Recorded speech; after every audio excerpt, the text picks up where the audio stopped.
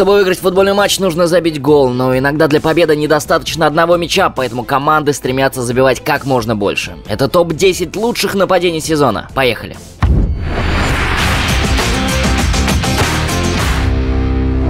Десятое место. Ювентус, Леон и Хофенхайм. Все три клуба забили в сезоне по 70 голов. Ювентус восьмой раз подряд завоевал чемпионство. Это рекорд среди команд топ-5 Лиг Европы. Лучшим бомбардиром и ассистентом клуба сходу стал Криштиану Роналду. Он также признан лучшим игроком сезона в серии А. Леон, как и год назад, завоевал бронзу и попал в зону Лиги Чемпионов. Львы стали самой бьющей командой чемпионата и второй командой по владению мячом. А Муса Дембеле в своем дебютном сезоне стал лучшим бомбардиром Леона. Хофенхайм весь сезон играл играла по излюбленной схеме 3-5-2, много забивала и много пропускала, и в итоге всего лишь девятое место в Бундеслиге. Крамарич стал лучшим бомбардиром команды и уже привлек внимание Баварии. А второй нападающий Хофенхайма Исхак Бельфадилу установил уникальный рекорд. Забил в матче против Манчестер Сити на 43-й секунде.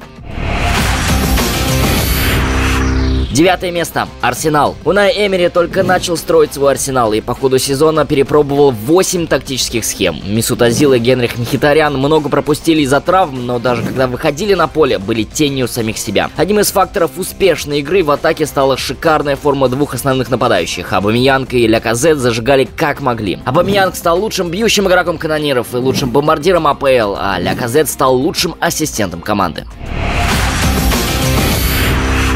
Восьмое место. Наполи. На старте сезона Карло Анчелотти использовал схему 4-3-3, но после первых неудач перешел на 4-4-2. Наполи стал самой бьющей командой серии А, лидером по количеству голов забитых после атакующих комбинаций и лидером по количеству и точности передач. Аркадиуш Милик, восстановившийся от двух травм крестообразных связок, наконец-то провел полноценный сезон и стал лучшим бомбардиром команды. Лоренцо Инсини при новой схеме чаще оказывался в роли второго центра-форварда и стал самым бьющим игроком команды, уступив серии А по этому показателю только Криштиану Роналду. Лучший ассистент команды Дрис Мертенс вышел на третье место по числу голов за клуб, уступая Марадоне и Марку Гамшику. В активе бельгийца пока 109 голов.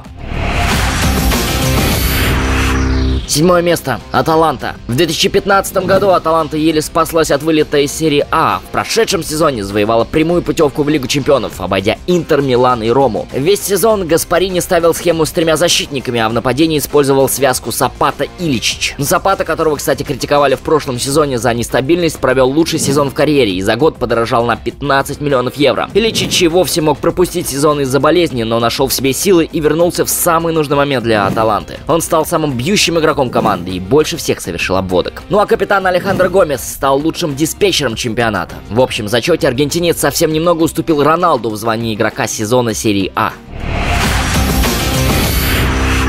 Шестое место. Боруссия. В прошедшем сезоне Люсьен Фавр использовал гибкую схему 4-2-3-1, в которой многие игроки не были привязаны строго к позиции. Самый универсальный в этом плане Марко Ройс. Он мог в одном матче сыграть и форварда, и центрального полузащитника. Дортмундцы предпочитали короткий розыгрыш мяча и на любом участке поля создавали треугольники, которые помогали в развитии атаки. По количеству и точности передач Боруссия стала второй в Бундеслиге после Баварии, а по количеству успешных обводок Дортмунд впереди всех. Лучший дриблер команды и всего чемпионата восходящий звезда Джейден Санчо, который к тому же стал лучшим ассистентом Боруссии и всей Бундеслиги. Приятной неожиданностью для Боруссии стала игра нападающего Пака Алькасара. Летом команда взяла Пака в аренду из Барселоны, где испанец не смог пробиться в основной состав. В итоге он стал лучшим бомбардиром-дебютантом в истории немецкого чемпионата, при том, что большинство матчей он ходил на замену.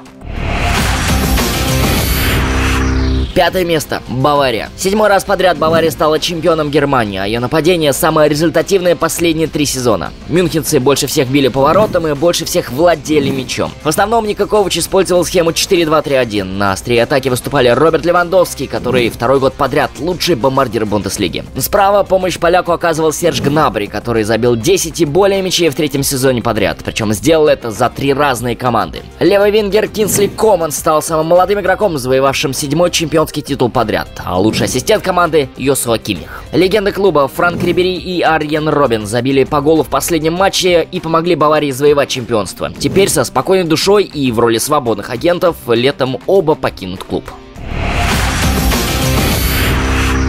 Четвертое место. Ливерпуль. В составе мерсисайцев сразу два лучших бомбардира – Мохаммед Салах и Садио Мане. Салах отыграл все матчи чемпионата, стал лидером команды по успешным обводкам и ключевым подключениям. Садио установил личный рекорд по голам в сезоне. Фирмино хоть и не был таким ярким, как партнеры по атаке, но зато стал самым результативным бразильцем в истории АПЛ. Ливерпуль лидер чемпионата по голам со стандартных положений. Здорово помогли в этом аспекте два крайних защитника красных – Трент Александр Арнольд и Эндрю Робертсон. Трент стал лучшим ассистентом команды, и этот показатель рекордный в АПЛ для защитников. Робертсон сделал всего на одну передачу меньше Трента, но также попал в команду года английской премьер-лиги. Третье место. Барселона. Атака Барселоны четвертый сезон подряд стала лучшей в Испании. Лионель Месси третий раз подряд стал лучшим бомбардиром чемпионата и стал первым в истории, кому удалось получить золотую бутсу в трех сезонах подряд. Лео лидер каталонцев по голевым передачам, лидер по дриблингу и лидер по ударам за игру. Луис Суарес стал самым результативным уругвайцем Ла Лиги. Он превзошел достижение Диего Фарлана, на счету которого 128 голов в чемпионате Испании. На левом фланге барсы пытались закрепиться Усман Дембеле и Филиппе Каутиньо. Несмотря на на периодические травмы, Усман улучшил свои прошлогодние результаты и занял третье место в команде по системе гол плюс пас. На вот Каутиньо никак не может показать свою игру времен Ливерпуля. У Филиппа недостаточно оборонительных качеств для центрального полузащитника и не достает скорости для вингера, поэтому в схеме, в которой играет Барселона, ему просто нет места.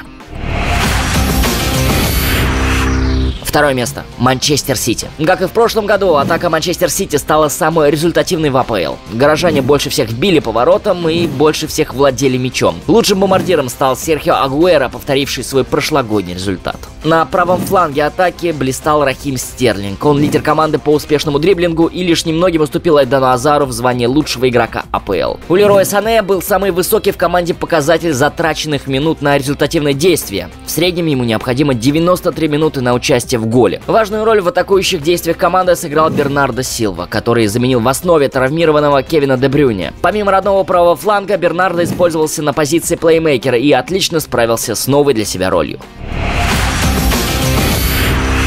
Первое место – ПСЖ. Второй сезон подряд нападение парижан становится лучшим среди ведущих чемпионатов Европы. В текущем сезоне ПСЖ стал первой командой в истории чемпионата Франции, которую удалось забить в каждом матче. В отличной форме Анхель Ди Мария, он стал лучшим ассистентом команды. Лучшим бомбардиром всего чемпионата Франции стал Килиан Бапе. Донателло – самый молодой игрок в чемпионате Франции, который смог забить более 30 мячей за один сезон в национальном первенстве. Он также самый бьющий игрок чемпионата. Эдисон Кавани долгое время отсутствовал из-за травмы подколенного сухожилия сухожилия, поэтому показал худший результат за последние 4 сезона. Как и Кавани, Неймар половину сезона лечил колено, но когда выходил на поле, был лучшим в команде по обводке.